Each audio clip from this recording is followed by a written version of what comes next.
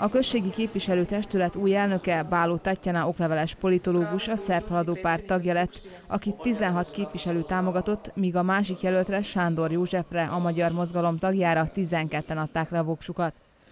A testület alelnökévé Pataki Tibor történészt, a Vajdasági Magyar Szövetség tagját választották meg, akire 16-an szavaztak, ellenjelöltje Zsíros Jankeli Gyanikó pedig 12 voksot kapott. A községi képviselőtestület titkára Körmöci Károly okleveles jogász lett, aki az előző mandátumban is betöltötte a tisztséget. Az újonnan megválasztott tisztségviselők nem kívántak kameránk elé állni, mondván a községi vezetés további tagjainak megválasztásáig nem nyilatkoznak.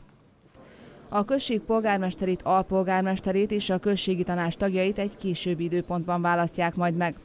A polgármesteri tisztséget várhatóan a községet négy éve irányító Ceglidi Rudolf tölti majd be, ugyanis a 29 tagú községi képviselőtestületben a Vajdasági Magyar Szövetség 11 mandátummal rendelkezik, míg a szerb haladó pártnak, a Demokrata pártnak és a Magyar Mozgalomnak egyaránt 5-5, a Magyar Polgári Szövetség által vezetett koalíciónak pedig három képviselői helye van a testületben.